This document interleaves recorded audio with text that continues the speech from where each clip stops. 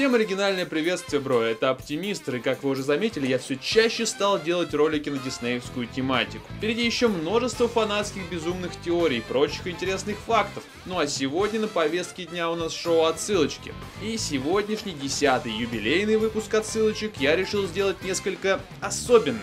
Я долго думал, что сделать в десятом выпуске такого, чего еще никогда не делал. И в общем-то ответ пришел как раз в тот момент, когда я делал очередной ролик о злом Аладдине или там дьявольском Стиче. Я уже, если честно, не помню. Дело в том, что диснеевские авторы, большущие молодцы, конечно, и наглые хитрецы. Они давно завели моду оставлять в новых мультфильмах Диснея отсылочки к диснеевской классике. Ну и не только классике. Примеров масса, о них я сегодня и хотел поговорить. Итак, перед вами не 10, а целых 20 диснеевских отсылочек к диснеевским же мультфильмам.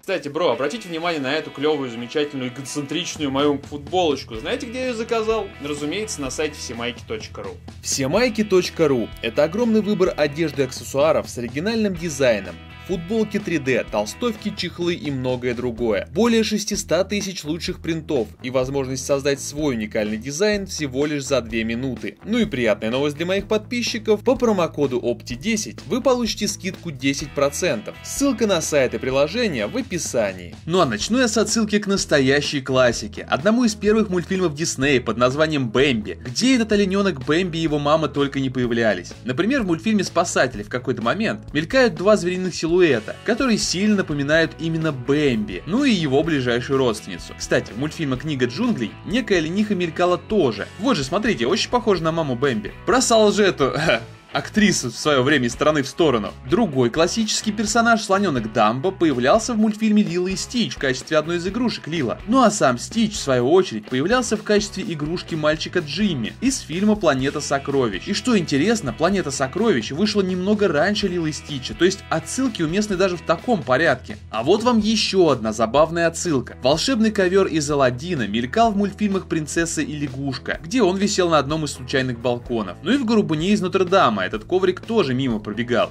Ну, точнее, как пробегал, проносили. Кстати, в этой же сцене пробегала Белль из мультфильма «Красавица и чудовище». И пока Белль блуждала по Нотр-Даму, чудовище успел почувствовать себя хм, Опять же игрушкой, только в руках у султана из Загребы. Все из того же мультфильма про Алладина. Кстати, в том же самом Алладине мелькал на секундочку отсылка к Пиноккио, когда Джинни превращался во все подряд. Плюс краб Себастьян из «Русалочки» каким-то образом угодил в этот сюжет, и его камео было даже на самом деле очень забавным. Если говорить об отсылках к Алладину, то лампа, похожая на ту, в которой жил Джинни, появлялась в мультфильме «Принцесса и лягушка». Вот в этой сцене со змеей, смотрите. А вот еще кое-какие знакомые предметы, полезные в быту, которые также являются отсылками. В мультфильме «Тарзан» появляется сервиз, похожий на тех самых оживших персонажей из мульта «Красавица и чудовище». Была в мульте про Тарзана еще одна отсылочка. Например, вот в этой сцене, когда профессор Портер оказывается в положении головой вниз, и из него, и из его кармана, очевидно, выпадает маленькая фигурка. Не узнаете это?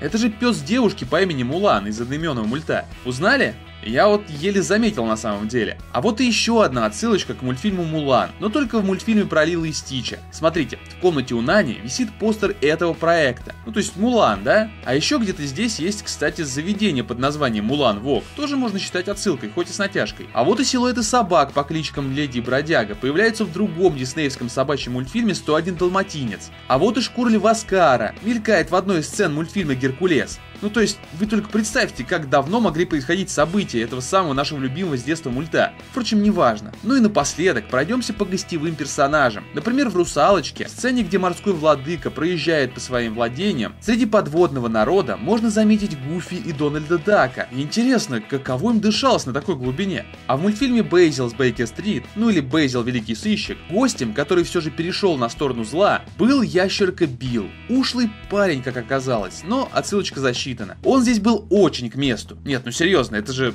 это же он, да? В еще одном не особо известном мультфильме «Черный котел» есть отсылочка к фее Тинкербелл из Питера Пена. Вот посмотрите на этих летающих прелестниц. Чем опять же не отсылка? А вот и король из мультфильма про Золушку, каким-то образом попавший в мультфильм про русалочку. Не иначе как с дружеским визитом в гости заезжал. Уважаемый человек. В мультфильме «Братец-медвежонок» на секундочку можно заметить промелькнувшего рыбку клоуна Немо. Вот же Его же, наверное, опять отец обыскался. Впрочем, о трехмерных мультах и отсылочках в них поговорим как-нибудь в следующий раз. Запаситесь терпением. Ну а на этом на сегодня все. Подписывайтесь на канал, ставьте этому видео лайки, рассказывайте о нем своим друзьям, пишите всякий бред у меня в инстаграме, заходите на трансляции в перископе, подписывайтесь на твиттер и вообще.